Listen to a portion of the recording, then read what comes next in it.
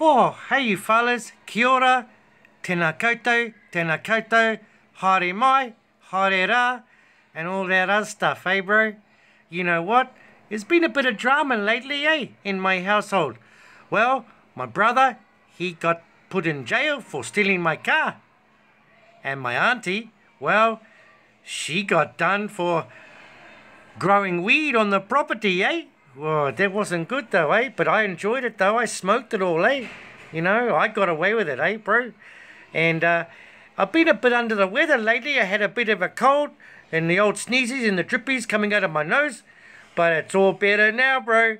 I'm getting ready for Christmas, eh? Anyway, uh, good to see you again. And haere ra, haere mai, and take care and all that other stuff. Hey, you! That's my bloody car! Hey, give it back, hey! Oh, oh I gotta go. Bye. Likey